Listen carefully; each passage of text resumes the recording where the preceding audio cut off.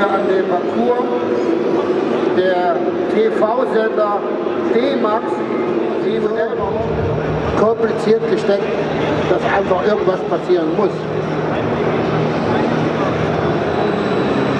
Der Andreas fährt auch gerade in einen sogenannten Tiger Wolf, wurde entworfen in Deutschland, in Hessen von dem Tiger Wolf Team. Ich kenne alle persönlich.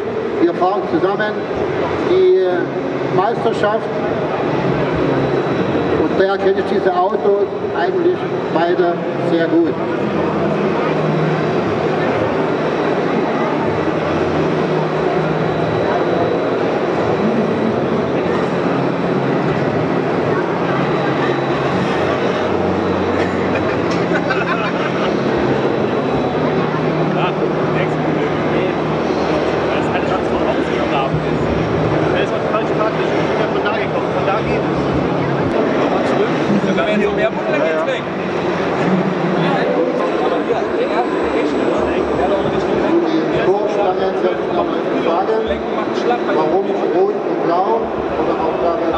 Aber das grün? geht jetzt mit dem Holzbalken.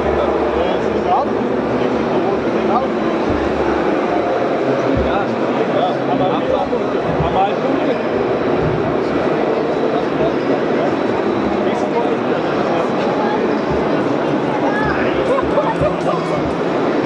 Dann wären schon mal zum Beispiel 48 Strafpunkte